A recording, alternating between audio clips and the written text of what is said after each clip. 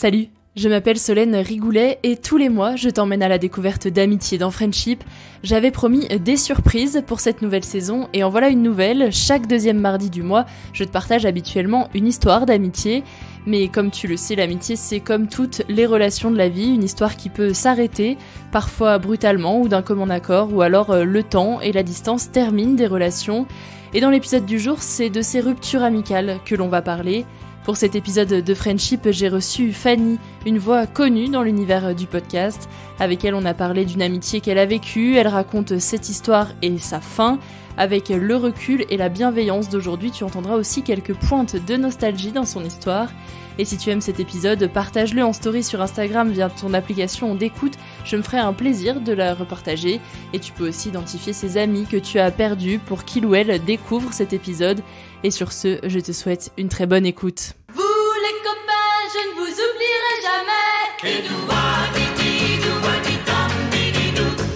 Dans l'amitié, il n'y a pas de fidélité. Pas de légitimité à être jalouse, par exemple. Il n'y a pas d'alliance, pas de cérémonie, pas de champagne pour célébrer une amitié. Pourtant, de toutes les relations qu'on a dans la vie, il y a des chances pour que les amitiés soient celles qui durent le plus longtemps. L'homme le plus riche est celui qui a les amis les plus puissants. You can count on I'll be there.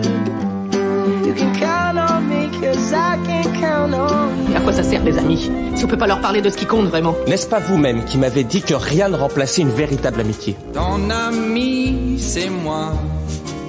Tu sais, je suis ton ami. Bonjour euh, Fanny. Bonjour. Pour euh, la première fois aujourd'hui, donc euh, je reçois une seule invitée. J'avoue que je suis un petit peu stressée, j'ai pas l'habitude. donc euh, Fanny, vous la connaissez peut-être parce qu'elle est hyper active sur Twitter. Elle est podcasteuse, donc créatrice de passion médiéviste, passion moderniste et très vite passion antiquité qui Oui. arrive. Je sais pas si on a déjà une date, mais C'est normalement, si tout se passe bien, le 25 janvier 2021. Ok, donc il sera déjà sorti quand euh, le Ah, oui. podcast, celui-ci va sortir. Donc euh, voilà, vous pouvez aller écouter tout ça. Donc euh, merci à toi de témoigner dans Friendship. Et donc avec toi, on va parler de rupture amicale. C'est pour ça que t'es euh, toute seule. Ce qui explique euh, voilà pourquoi t'es es ici. Et donc euh, pour commencer, je voudrais déjà que tu te présentes pour qu'on on te connaisse un petit peu mieux. Ben, déjà, je suis très contente de faire ça avec toi. J'espère que ça va bien se passer. Euh, donc, je m'appelle Fanny Cohen-Moreau. Donc, comme tu as dit, je suis podcasteuse depuis donc euh, avril 2017.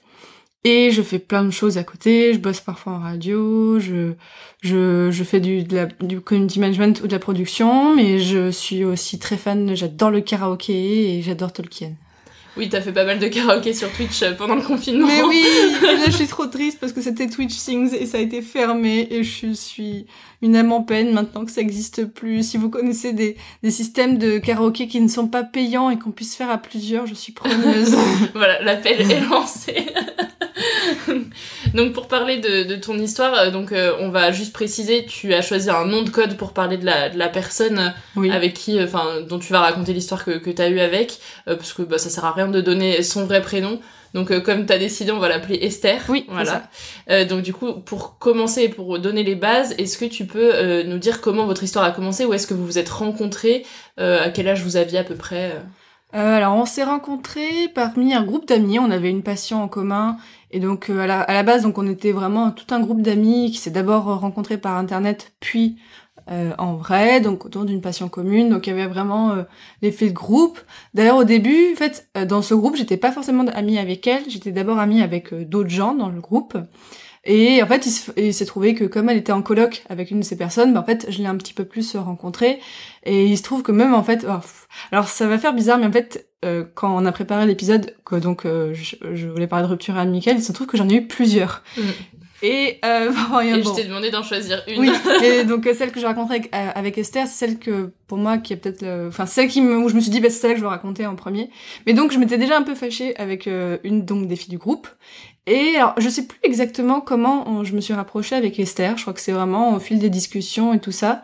Et euh, alors en plus il se trouve que bon, bon, j'habite à Paris, mais il se trouve que elle habitait pas tout de suite à Paris, donc on se voyait pas beaucoup, mais en fait on, on discutait euh, beaucoup. Et en fait je pense qu'on a vraiment eu un au niveau du caractère, en fait, on s'entendait bien, on, euh, on- enfin, on aimait bien rigoler ensemble et tout ça. Et et ça fait que voilà on commençait vraiment à être très très copines. Donc c'était maintenant il y a quelques années. Et donc du coup c'était déjà euh, dans ta vie euh, d'adulte enfin c'était pas dans l'adolescence quoi. Non non c'était dans ma vie d'adulte mais on était encore à la transition. Voilà enfin je moi je crois que j'étais encore en train de quitter euh, je, c'était mes dernières années d'études mm. et elle, on était un peu dans la vie adulte on commençait vraiment dans la transition. ok. Dans celle là on commence à payer des impôts. Ouais, c'est ça, on se dit, oula, mais il y a beaucoup trop de choses à payer quand on est adulte. La sécu, c'est ça. Et du coup, tu sais combien de temps est-ce que vous êtes restés amis? Je pense qu'on est restés amis, je dirais 4-5 ans. Environ, ouais. Ouais, 4-5 ans. Et, euh, et du coup, est-ce que, avec du recul, tu dirais que ça a été un, un coup de foudre amical ou c'est une amitié qui s'est construite un peu sur euh, le long terme, euh, sur bah, différents moments de partage euh, bah, je pense que ça a été, enfin, ça s'est fait progressivement parce que je pense qu'aussi, voilà, comme on est dans un groupe, bah, c'est forcément c'est un peu plus compliqué de connaître euh, les personnes dans un groupe euh, quand tu es déjà avec certaines personnes.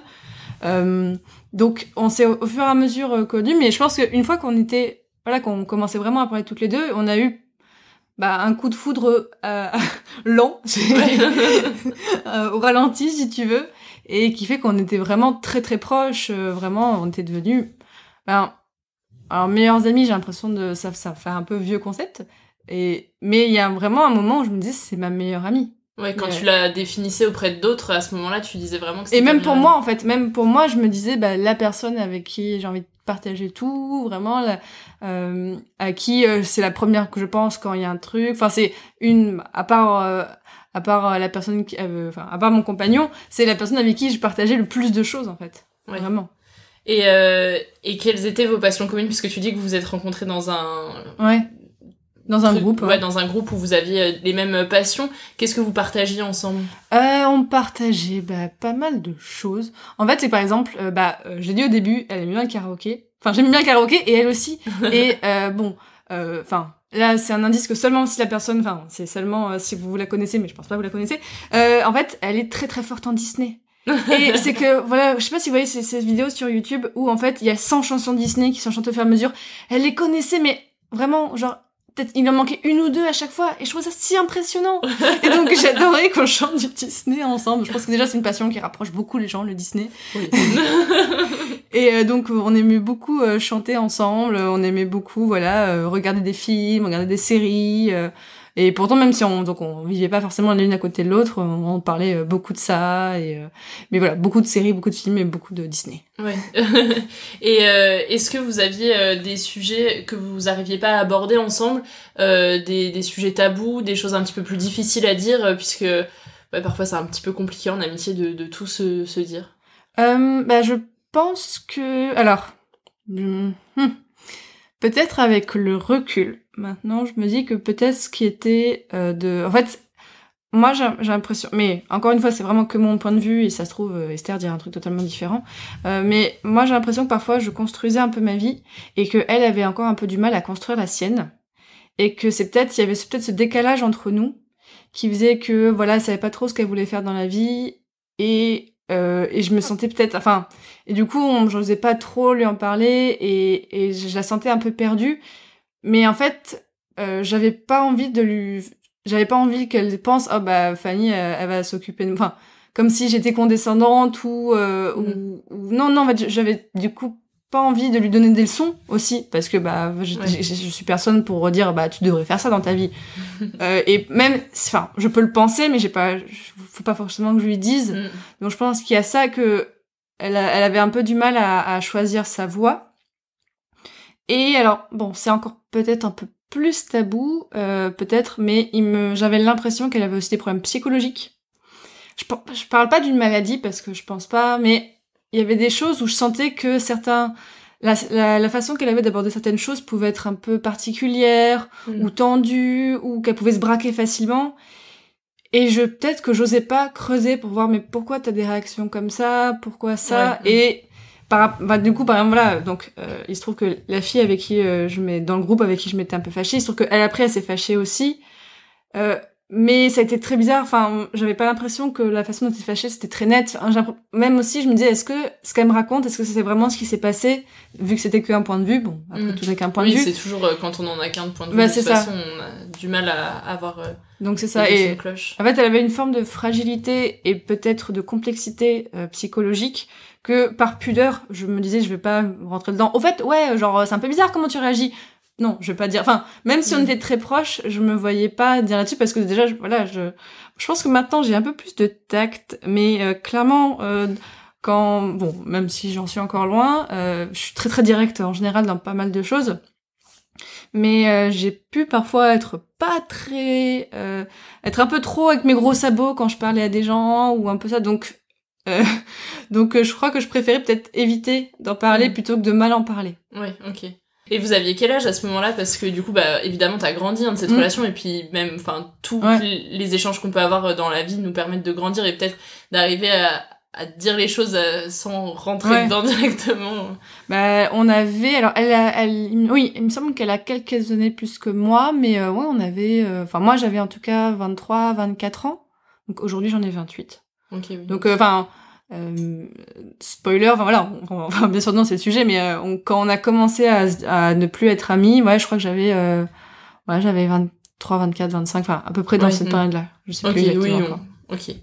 Et euh, est-ce que du coup, parce qu'il y a des sujets que t'arrivais pas à aborder avec elle, est-ce que vous avez eu vraiment des moments, à part la rupture euh, vraiment réelle, où vous êtes vraiment fâchés parce que vous étiez pas d'accord sur certains sujets, euh, des, des grosses embrouilles en fait, euh, où ça a été difficile après de, recoller un peu les morceaux bah, je crois pas forcément. Je crois qu'on arrivait un petit peu à tenir. Encore une fois, bon, mes, mes, mes souvenirs sont pas hyper nets et vraiment, j'ai, c'est plus un ressenti.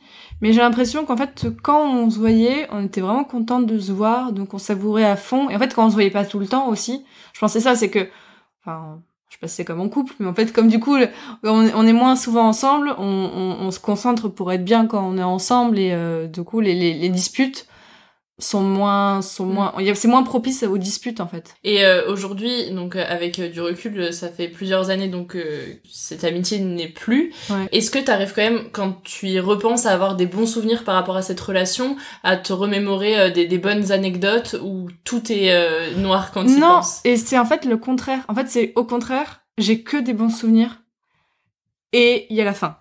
Ouais. mm. Et en fait, et euh, je sais pas si je peux déjà en parler dès maintenant, oui, mais c'est que maintenant, en fait, même je me dis, mais elle me manque en fait. Ah oui. Elle me manque vraiment.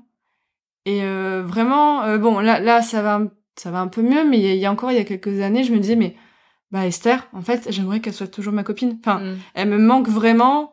Euh, j'ai- J'aimais vraiment la façon dont, bah, même grandir avec elle, même euh, évoluer dans la vie avec elle. Et vraiment, je me dis, mais ben, j'aurais dû faire en sorte qu'on n'ait pas cette rupture. J'aurais dû. Et, euh, et voilà, même voilà ce que je dis que je rappelais quand, quand Disney chante, il y a beaucoup de choses qui me font penser à elle. Et, euh, et même des fois, je dis, ah ben, je vais lui en parler. Ah ben non, enfin, je peux plus. Et c'est vraiment frustrant. Bon, elle est pas morte, hein. Je- Oui. non, mais je dis tout de suite, elle est pas morte, donc euh, elle est toujours vivante. Je pourrais toujours lui envoyer, mais bah forcément maintenant, bah, on se parle Oui, plus. c'est plus délicat quoi. Mm. c'est ça. Et du coup, euh, est-ce que t'as une anecdote euh, que t'aimerais raconter, euh, qui, ouais, quand tu te la remémores, c'est un bon souvenir, quelque chose qui, qui t'a marqué un peu dans cette histoire-là? Euh, on était allé. En fait, je- en fait, c'est que j'ai beaucoup de souvenirs aussi liés aux photos, forcément, Mm. parce que ben, c'est ce que je me rappelle. Enfin, je me rappelle d'une fois, d'une après-midi, on est allé se balader dans Paris, euh, pas loin en fait du côté des archives de. Donc vraiment dans le centre de Paris, pas loin de l'hôtel de ville, où on s'était baladé, on était allé prendre des photos dans un parc, on avait mangé un cupcake, et c'était trop, et c'était chouette en fait. En fait, c'était vraiment chouette et j'aimais bien les moments qu'on passait ensemble comme ça à, à juste se balader ou euh, où je me rappelle donc j'étais allée en fait euh, j'ai parce que voilà j'étais déjà allée chez elle euh, chez sa mère on était en fait euh, elle en fait elle avait des chats aussi. Enfin elle, a- elle a toujours des chats je crois. Euh, et, et ils étaient sont trop mignons ces chats et, et à chaque fois je, quand, quand, quand j'allais chez elle et voilà c'était prendre en photo ces chats sous tous les angles possibles et, et, et puis voilà trop trop trop trop mignon et tout ça c'était euh, et euh, voilà Ouais, des moments simples mais Et, précieux. et quoi. aussi, en fait, on, on s'échangeait des cartes postales. En fait, il y a eu tout un moment où pendant, je crois, c'est un an et demi, deux ans, on s'échangeait des cartes postales. J'en ai gardé. Je les ai gardées. J'ai même gardé les enveloppes parce que c'était rigolo parce que donc on mettait l'adresse bien sûr de la personne. Et au dos, en fait, on disait euh, signer. euh, alors parce que ah tiens oui c'est vrai. On quand quand on était encore à Paris, on faisait de la piscine ensemble. Et c'était trop bien. On allait, on se motivait. On disait viens, on se motive. On, va à la piscine et tout. Partenaire de sport. Mais c'est ça, et donc c'était cool parce que voilà, on, on, on se retrouvait à la piscine, ça, il y avait une piscine chouette, la piscine qui est dans le 15e arrondissement à Paris, euh, la, piscine, euh, la piscine de Beaugrenelle, elle, elle est super bien, elle est, elle est grande et tout. euh. et, et donc euh, quand on signait nos lettres, on disait bah, la nageuse masquée, on, on avait un peu tous des liens là-dessus, et vraiment on, on s'écrivait des lettres, des cartes postales, je sais que une fois, en fait, elle avait mis, en fait, elle, elle collait mes cartes postales sur une porte de sa chambre et en fait, elle avait dit, bah, en fait, elle a dû mettre sur le mur parce que j'en avais trop envoyé, enfin, on s'était envoyé tellement que en fait, ça prenait trop de place sur euh, sur la Mm. porte de, de sa chambre et euh, donc voilà, j'ai tout ça qui qui me revient en tête. Et du coup, quand une euh, relation prend, bah, prend cette place-là et a, a cette importance, enfin on l'entend en tout cas que c'était une relation qui avait de l'importance pour toi, ouais. euh, comment est-ce qu'on en vient à, à cette euh, rupture? Qu'est-ce qui a fait que vos liens, bah, ils ont pris des, des chemins différents aussi? Euh, alors, là, je j'ai pas des souvenirs hyper nets sur comment il y a eu la rupture. Donc euh, bon, ouais, encore une fois, c'est mon point de vue, mais en fait, c'est que euh, ça a été quasiment du jour au lendemain. Et en fait, c'est un peu des prémices de ce que j'ai dit tout à l'heure, c'est qu'en fait, elle m'a fait envoyer toute une lettre où elle me reprochait de l'utiliser, de euh, comment dire. En fait, elle a vraiment eu un truc d'un coup, comme si en fait, elle s'est dit, mais en fait, Fanny, t'es toxique dans ma vie, je me rends compte que tu tu me, voilà, tu me... Et en fait, euh, bon, vous allez me dire, ah, bah ça se trouve, Fanny, en fait, elle raconte n'importe quoi, et c'est ça. Peut-être. Mais en fait, il se trouve qu'elle avait déjà eu ça avec plusieurs oui, personnes c'est ça, qui avec après... le- les personnes du groupe. Ouais, c'est ça. mm. En fait, c'est que du jour au lendemain, en fait, elle me disait, bah voilà, euh, Fanny, je me sens... En fait, elle, me- elle, me, elle me rappelait plein d'événements où, où, en fait, elle le tournait de, bah voilà, tu te rends pas compte que là, en fait, tu m'avais humilié, tout ça. Et euh, par exemple, en fait, une fois, juste, euh, elle était chez moi, et normalement, le soir, en fait, j'avais un cours de... Enfin, je faisais, je prenais des cours d'impro avec des gens, et en fait, j'étais juste allée euh, dire un truc, en fait... euh, je devais juste aller dire un truc aux gens du cours d'impro et j'avais dit bah si tu veux Esther viens avec moi en fait on, y va juste euh, je dois dire quelques trucs et après on, revient. Donc c'était pour vu que je devais faire le trajet aller-retour bah, je disais si tu veux viens avec moi. Et euh, et une enfin on était allé du coup devant le groupe avec les gens. Juste je leur ai parlé pendant cinq minutes et on était revenu et elle m'avait dit bah là tu te rends pas compte mais je me sentais hyper gênée devant ces gens que je connaissais pas tu m'as tu m'as tu m'as un peu prise au piège et tout ça. Et en fait je crois qu'elle avait peut-être une forme d'anxiété sociale. Mhm. et donc c'est ça en fait peut-être que j'avais pas j'avais j'avais pas mis les mots dessus. Mhm. j'avais elle était pas à l'aise en fait. Et euh, elle m'a vraiment reproché beaucoup beaucoup de choses. Et et bah déjà tout de suite je, déjà je m'en suis voulu parce que je me dis bah, bah merde en fait je m'étais pas rendu compte que je l'avais mise autant mal, mal à l'aise. Et que bah bon effectivement elle avait pas pu me le communiquer mais je me dis quand même je suis euh, enfin en général je suis quand même assez sensible je suis très empathique enfin je j'absorbe beaucoup les émotions enfin tu vois quand il y a un truc un truc triste ou un truc euh, je peux vraiment partir beaucoup dans les émotions donc je me suis dit c'est bizarre, bizarre que j'ai quand même pas perçu ça chez elle. Et donc elle m'a vraiment mis toute une lettre où elle me reprochait énormément de choses. Et je me suis sentie très triste. J'ai dit bah, bah, merde en fait. Je, je perdais une amie. Et en plus je me rendais pas compte que je l'avais qu'elle était pas bien à cause de moi depuis quelque temps. Et c'était un déchirement et en Ouais. fait euh, vraiment je me suis dit ça a été très très soudain en fait Et ça a été très soudain, très violent, mais est-ce que vous avez eu un échange là-dessus ou jamais vous vous êtes Euh, plus jamais revu après on, cette lettre non, on s'est parlé. Euh, je crois que, alors en fait, je crois que je j'avais envoyé une autre lettre. Alors en fait, il y a eu une histoire de, euh, moi je l'avais envoyé ou elle, elle m'avait envoyé il y a encore une autre lettre, mais qui s'est perdue. Donc moi, je crois qu'il y a un moment en fait, on attendait une réponse de l'autre, mais qui en fait, bah, juste, il y a eu un souci. Et euh, ou alors, et aussi, on, on, on parlait un petit peu par enfin, on a parlé un petit peu par message, mais euh, mais après, en fait, c'est comment dire? Je me enfin du coup j'en avais pas mal discuté donc avec une amie commune de ce groupe d'origine donc avec qui j'étais pour le coup toujours amie qui en fait dit bah voilà c'est vrai qu'Esther elle a des problèmes psychologiques relationnels et tout ça. Euh, et mon amie commune dit mais moi je, vu que je sentais que vous allez bien je me suis dit je vais pas te prévenir ni rien mais euh, mais voilà peut-être ce qu'on dit sur Et ça, elle te l'a dit après, du coup. Ouais, elle me l'a dit Ouais. après, mais voilà, ce que, même ce qu'on disait tout à l'heure sur le fait de pas envie de donner trop son avis sur la vie d'Esther, sur euh, comment elle a son relation. En fait, je voulais pas la juger. Et je pense que mon amie commune était pareil, en fait, de dire, bah, je voulais pas euh, euh, dire attention, elle, elle va, elle va se retourner contre toi parce que ça se trouve, elle l'aurait pas fait. Mm. Donc, euh, ça aurait été bizarre de me le dire. Mais euh, heureusement que j'ai cette, en fait, heureusement que j'ai eu cette amie commune qui m'a permis de prendre du recul en fait sur ce qui s'est passé avec Esther. Mhm. Parce que je pense que sinon, j'aurais peut-être pas pu. euh, donc peut-être vous allez vous dire, bah en fait non, ça se trouve c'est Esther qui a raison. Et peut-être en fait. Peut-être. Mais, euh, Enfin, c'est que sauf si elle se retrouve dans cet épisode et qu'elle veut donner son point de vue. Et... ça a été. En fait, c'est que le problème, c'est que du moment qu'en fait qu'il y a eu cette, cette, cette cet impact, j'arrivais plus à me dire, allez, non, c'est pas grave. En fait, c'est que il y a eu un moment où après, elle s'est excusée euh, d'avoir. Enfin, je sentais qu'elle se disait, bon, finalement, non. Et est-ce qu'on peut re-être amis à nouveau? Et en fait, j'arrivais pas. Parce que je me dis, bah, si ça se trouve, si ça se trouve dans, dans quoi? Dans quelques mois, elle m'aurait refait le coup Mm. de, en fait, ça va pas et tout. Mais et je pense que émotionnellement, j'étais pas, j'étais plus, j'étais plus prête en fait. Mm. Je me dis, mais non, je peux pas en fait parce que de savoir que tu vas peut-être exploser à un moment. Mm. Euh, et bah il y a un moment, faut bien se protéger émotionnellement, de, de se dire ça. Et euh, je lui dit, bah Attends, je crois qu'il me, je sais plus exactement. J'aurais, j'aurais pu replonger dans les archives, mais j'avoue que j'avais pas le cœur. mais euh, je crois qu'on a dit, est-ce qu'on essaie de se reparler un petit peu? Mais en fait, non, ça fait bizarre. Mm. Même, en fait, je crois qu'il y a une fois où je l'avais envoyé un, bah, en fait, tu me manques. Et elle-même a répondu, mais en fait, je sais pas quoi te dire. Et en fait, on savait, on avait juste cette, cette je crois, comme euh, ce sentiment commun de se dire, ouais, on se manque, mais c'est plus possible en fait. Mm. Donc euh, il y a et même il y avait pas de mots à dire là-dessus, c'était juste de genre comme si t'envoyais un petit cœur à quelqu'un. Hop, tu envoies t'envoies un petit cœur, t'as un emoji cœur, mais en fait bah il y a y a rien d'autre, il y a, y a, Mm. y a pas d'autre chose à dire que ça. C'est juste bon bah bah bonne route quoi. Ouais. mm. C'est un peu ça. Et, euh, et donc du coup, on, on sent quand même que ça a été euh, violent, hein, enfin de recevoir euh, cette lettre-là. Euh, est-ce que c'est aussi difficile à vivre qu'une rupture amoureuse? Comment est-ce qu'on se relève? Et euh, et après quel rapport on, a à, l'amitié? Parce que quand on est, je, je sais pas si le terme déçu est, est Mm. le bon, mais en tout cas, est-ce qu'après on, on arrive à redonner sa confiance, à se livrer autant auprès de quelqu'un? Alors moi je pense quoi? En fait euh, j'avais vu quelqu'un dire que les ruptures amicales étaient même plus difficiles que les relations amoureuses. Je pense que c'est possible en fait que enfin c'est c'est c'est pas du coup c'est pas les mêmes types de conséquences, c'est pas le même type d'engagement. Mais euh, c'est vrai que ben en fait euh, je me suis rendu compte euh, et c'est pas que Esther que il y a peut-être des fois où je me suis trop engagée avec des gens où je et euh, où j'ai trop mis d'émotionnel et en fait maintenant je j'ai je sais pas, c'est peut-être le fait de grandir. Oh là, ce mot, ce mot sale de, de devenir adulte. Oh mon dieu.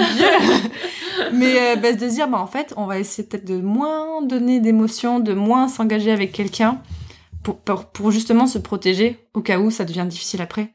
Donc c'est vrai que bah bon, il se trouve qu'en en plus après Esther, j'ai eu d'autres euh, ruptures amoureuses. Enfin, oh, le lapsus. Ah là Non, d'autres ruptures amicales pour d'autres raisons. Mais que en fait, maintenant, là, aujourd'hui, bah, j'ai plus de relations comme ça avec quelqu'un.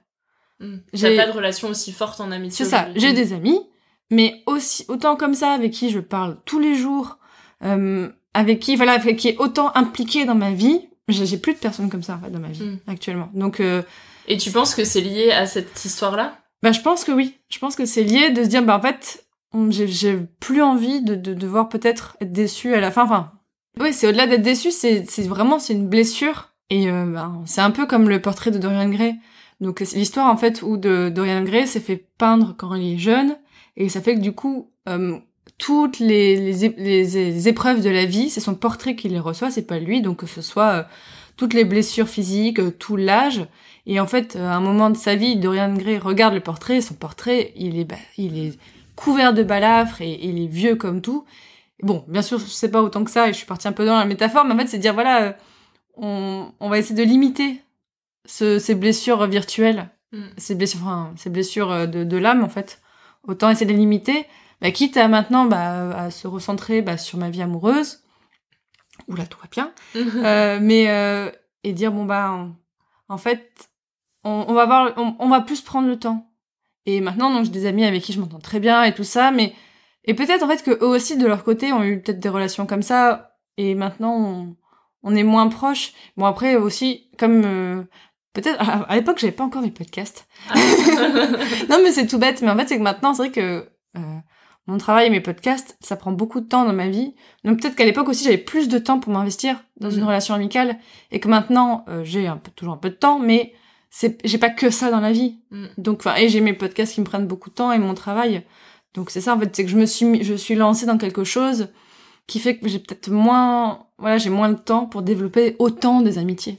Et dans tes proches, est-ce que je sais, enfin, alors je sais pas si t'as dit que tu connaissais sa, sa maman, mais je sais Ouais. pas si elle, elle a eu euh, l'occasion de rencontrer d'autres amis à toi, euh, tes parents ou quoi. Est-ce que certains t'ont mis en garde lorsque t'étais encore amie avec? Euh, On a dit qu'il y en avait une qui t'en avait parlé après, Mm. mais euh, est-ce que certains t'ont mis en garde un peu avant? Je pense par exemple aux amitiés un peu de collège-lycée où nos parents Ouais. nous disent oh cette personne elle est pas très bien pour toi ou machin.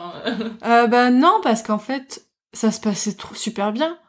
En fait, euh, jusqu'à jusqu'à la lettre ou ou un tout petit peu avant, ou peut-être ça pourrait euh, dire voilà, mais ça se passe pas forcément bien, mais on était vraiment au beau fixe et même au contraire, en fait, ça se passait très très bien. Alors moi, comme mes parents habitent très loin, elle avait jamais rencontré mes parents. Enfin, je crois pas. Peut-être ma mère, mais je suis pas sûre. Euh, mais euh, mais non, en fait, ça se, enfin, on avait vraiment peut-être, on était peut-être un peu trop fusionnels. Et encore, enfin, et encore, voilà, on n'avait pas, euh, on, était fusionnels, pas juste, on se parlait beaucoup. Mais, euh, mais non, il y a personne, enfin, j'essaie de réfléchir, mais je crois pas. Je crois Ouais. que les gens, en fait, euh, même, euh, comme on était surtout une amitié où on discutait à distance, bah là, il y a pas forcément de, les gens peuvent pas voir tout ça. Mm. Oui c'est vrai, ils voient pas tout ce qui se passe du coup. C'est ça. Et donc aujourd'hui, vous avez plus aucun lien, plus aucun message échangé. Mm. Est-ce que vous vous suivez quand même un peu ce que fait l'autre via les réseaux sociaux ou? Alors, je crois qu'on est encore amis sur Facebook, mais je suis pas sûre. Et j'avoue que parfois, mais allez, on va dire une fois tous les trois à quatre mois, je vais voir sur Facebook juste voir, bah, est-ce que, est-ce que, voilà, bon, bien sûr, on voit pas tout, mais est-ce que ça a l'air d'aller, Euh, qu'est-ce qu'elle fait dans la vie, de, de voir, euh, de voir ça? Et en fait, j'y ai pensé aussi parce qu'il y a pas longtemps, en fait, à- alors avec une autre amie, bon là je peux dire, c'est mon amie Léa, il y a pas de souci, qu'on se- avec qui on se connaît depuis, euh, ouais, depuis vraiment le, le lycée. Euh, on, elle vit à Lyon. On, on- finalement, on a, très peu vécu. En fait, euh, depuis le lycée, en fait, elle était partie parce qu'on on, on était au lycée à l'étranger, lycée français à l'étranger. Donc elle était partie euh, dès la terminale. Et moi, du coup, et on a, on n'est plus vécu dans la même ville. En fait, à chaque fois, on, arrive à se voir peut-être de temps en temps et tout ça. Et là, on, s'envoie des cartes de vœux pour, voilà, pour le nouvel an. Et elle m'a envoyé une lettre. Enfin, dans, dans sa carte de vœux, elle a dit un truc qui était très émouvant. Attends. Nous évoluons à distance, mais tu gardes une place importante dans mon petit cœur. Et j'ai trouvé ça tellement mignon et vraiment ça m'a énormément marqué qu'elle me dise ça parce que bah c'est ça en fait même si on ne vit pas avec la personne mais même si on parle pas au quotidien même si en fait finalement on n'est pas fusionnel bah en fait on là avec mon Emilia on, on, on est content de se voir évoluer au fur et à mesure et euh, bah, bah en fait avec Esther c'est un petit peu ça enfin je me dis vous que- avez des lignes de vie parallèles Ouais, c'est ça. ne se croiseront plus probablement, voilà Euh, mais vous, enfin tu suis encore un peu de loin euh, ce qui ce qu'elle peut faire. Bah euh. oui, c'est comme si, voilà, enfin, en, en essayant à chaque fois de dire, mais j'espère que ça, enfin, voilà, je lui dis pas, mais je pense très fort. J'espère que ça va bien pour elle. Euh, j'espère que ça se passe bien dans son travail, dans sa vie amoureuse, que sa famille va bien et tout ça, parce, parce Oui, que. souhaites pas de mal quoi. Enfin, Bah- c'est- bah pas de haine euh, contre elle. Bah malgré non, non, non. ça, enfin, on- Non, on non, pas sent, du euh, tout. Mais, mais, euh, mais voilà, quand je dis que après, en fait, je l'avais envoyé un message en disant, bah, juste, je pense à toi, elle disait, bah, ouais, mais je sais pas quoi te dire. Mm. En fait, voilà, c'est que le dialogue n'est plus possible, en fait, voilà, c'est, c'est- ça c'est fini, il y a une fin. Mm. Mais en tout cas, on sent que tu gardes de la, de la bienveillance pour elle et Bah pour oui. ce qu'elle fait et peut-être ses projets. et, euh, et donc aujourd'hui, enfin, quelle est l'émotion que que t'as quand tu repenses à cette relation euh, euh, Ouais, quelle émotion tu as par rapport à ça? Alors, des fois, je me demande, et si il n'y avait pas eu la rupture? Et si on avait continué à être amis? Et donc, il y a une forme de nostalgie, mélancolie, mais en même temps de... Voilà, de dire, bah voilà, enfin, je suis encore dans mes métaphores de monde virtuel, mais... euh, et si, en fait, on était encore amis? Ben, On en serait où maintenant? Mm. Euh, Est-ce que finalement, on aurait quand même eu une autre rupture? Est-ce qu'on serait encore amis? Est-ce que, je sais pas... euh, on aurait fait des, des week-ends, des vacances ensemble? Mm. donc euh, c'est il y a une forme de peine en fait qui, qui me reste, une forme de de, de ouais de mélancolie euh, générale. Et par rapport euh, à, à la rupture, euh, c'est vrai que quand on se sépare de quelqu'un en amour, euh, les choses sont dites hein, en, en général, c'est assez clair. Si on habite ensemble, bah on n'habite plus ensemble. Enfin voilà, il y a des Mm. choses qui, qui nous font comprendre que c'est terminé. En amitié, euh, est-ce que vous avez mis des mots sur cette rupture en disant bon bah voilà on n'est plus amis, on- enfin euh, un peu on se sépare quoi nos chemins de vie euh, se, se séparent maintenant euh, ou ça s'est fait aussi euh, j'ai pas envie de dire dans la douceur parce que ça a été brutal Mm. avec euh, cette lettre mais plus sur le long terme Je sais pas si on se l'est dit. Euh, il se trouve qu'il y a récemment, avec une personne, avec une autre personne, il y a eu un moment où j'ai dit à cette personne, mais en fait là on n'est plus amis. Euh, mais oh, là aussi je regrette énormément. Il y a- en fait non mais c'est vraiment ça, c'est qu'il y a plein de fois où je me dis mais mais non mais j'aurais, enfin je regrette beaucoup de choses. Il y a beaucoup de choses où euh, où je me dis bah parce que vraiment, enfin, ça, fait, ça peut paraître bizarre, mais vraiment, les, les ruptures d'amitié, ou en tout cas les moments où j'ai eu vraiment, enfin, des, ouais, non, les ruptures d'amitié, j'en ai quasiment eu une dizaine. ah oui Et, et vraiment, en fait, c'est euh, celle avec Esther est peut-être la plus forte, euh, parce que c'était vraiment une amitié très, très engagée, mais il y a vraiment, je me dis, mais, mais combien de fois j'ai foutu en l'air, ou, enfin, parce que voilà, enfin, même Bah, si... forcément on se remet en question C'est ça, en fait. Mm. Même si Esther, euh, je pense pas que je suis totalement fautive, mais peut-être qu'en fait, juste, j'aurais dû me rendre compte de certaines choses et tout ça. Et en fait, avec le recul, je me dis, mais, alors c'est peut-être là aussi de grandir, je sais pas, mais de dire, bah, et, tous les, les confinements euh, ré- récents, en fait, font penser à ça. C'est que, est-ce que, est-ce qu'en fait, on- on- à qui on peut encore parler euh, Quelles sont les personnes qui vont continuer de d'être dans ma vie au quotidien? Et j'ai l'impression que parfois je j'ai envie de- je pense à des fantômes donc ces personnes ne sont pas mortes hein. mais mais parfois je me dis bah c'est des personnes avec qui le dialogue n'est plus possible et ça me rend triste de me dire mais en fait j'aimerais pouvoir continuer Mm. donc là il y a aussi un truc un peu égoïste de là dedans mais euh, bah, j'aurais dû faire des efforts euh, j'aurais dû faire je sais plus quelle était ta question mais je sais pas si j'y ai répondu Euh, je sais plus, euh, non plus, mais c'était très bien. non, ça me fait rire parce que ça me fait penser, euh, quand j'étais en voyage à New York, j'ai envoyé un message à une copine de lycée où euh, là, il n'y avait pas eu de rupture euh, Ouais. forte, mais euh, c'est vrai que bah, nos liens se sont séparés au fur et à mesure du temps. euh, voilà, c'est comme Mm. ça. hein, euh, la vie fait aussi euh, ouais que parfois c'est comme ça. Et euh, il y a un truc qui m'a fait penser à elle et je lui ai envoyé un message directement parce que même si on se parlait plus, euh, que bah voilà on se suit de loin à travers Facebook et Instagram, bah là je me suis dit non faut quand même que je lui envoie un message. Mm. Et il y a toujours cette forme de nostalgie un peu quand euh, c'est des amis qu'on n'a plus, de se dire ah euh, à quoi ça ressemblerait aujourd'hui si on était toujours amis quoi. Et c'est ça, et se dire aussi, il y a certaines choses qu'on peut partager que avec certaines personnes, parce que forcément c'est un vécu qu'on a eu ensemble.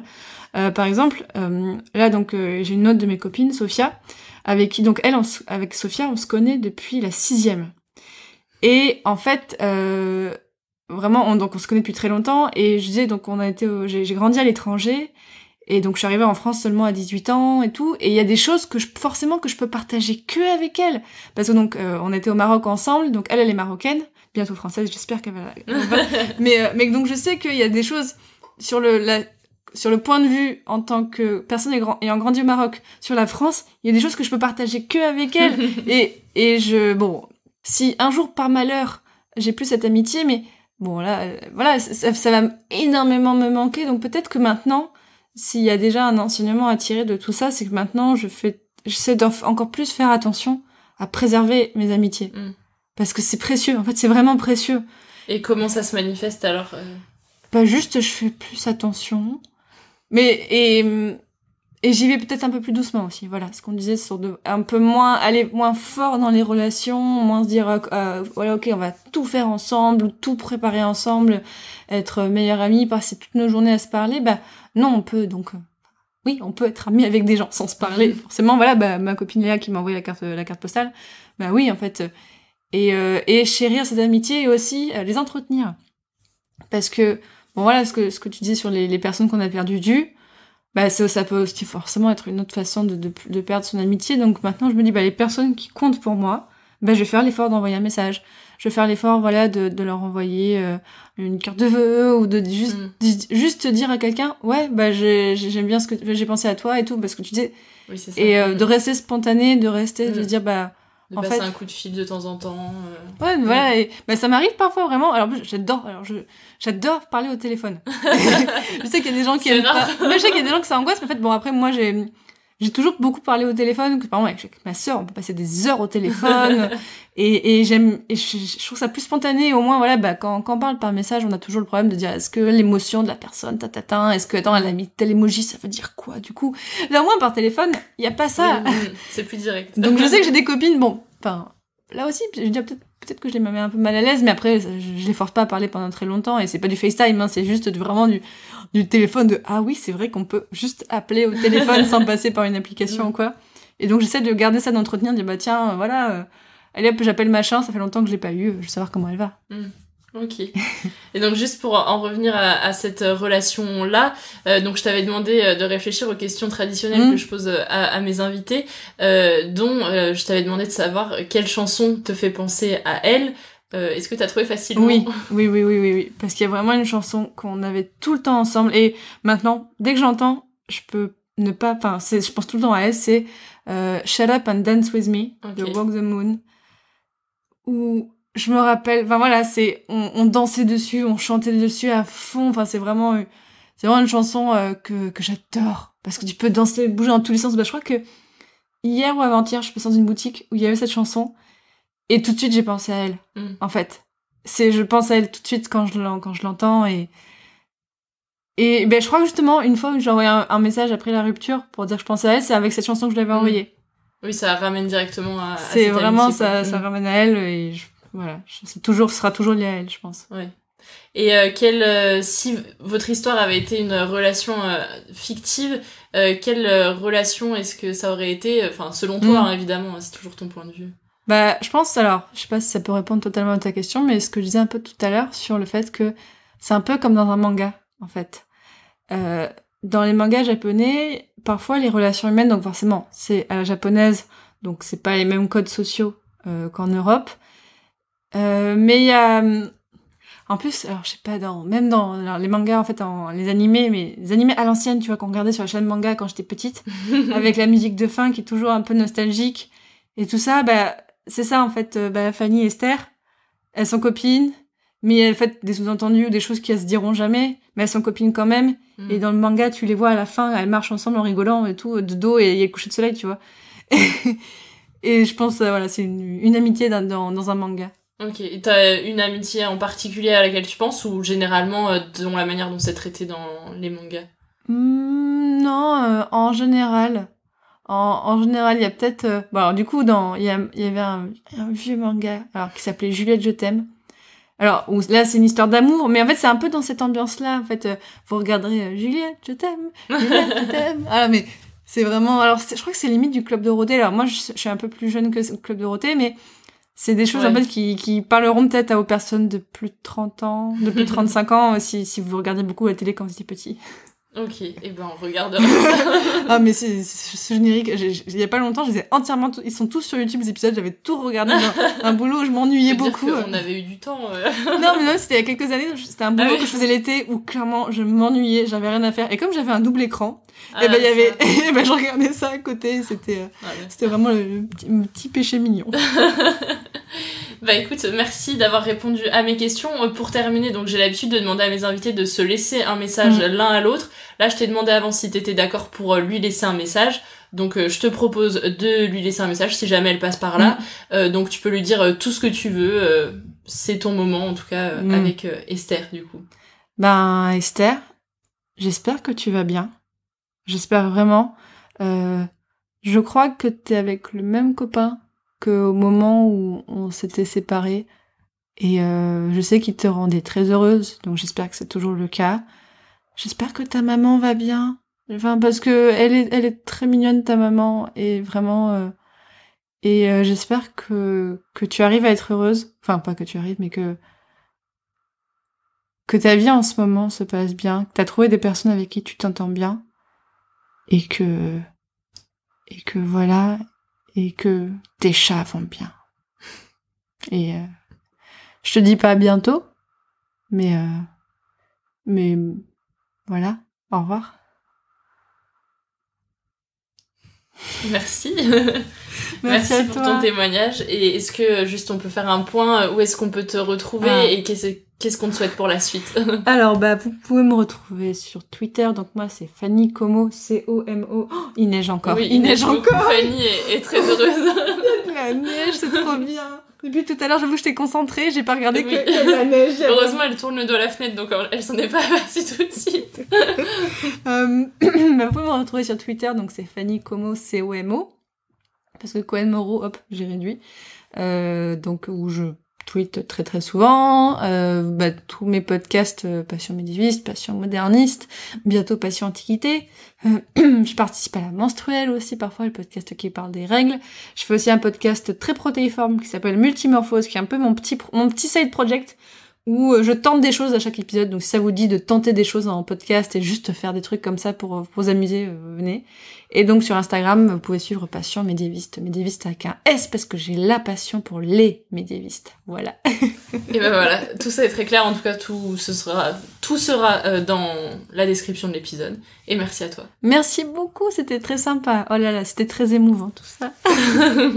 Merci à toi d'avoir écouté cet épisode de Friendship. Si tu es intéressé pour découvrir le travail de Fanny en termes de podcast, tu peux trouver tous les liens dans la description de l'épisode.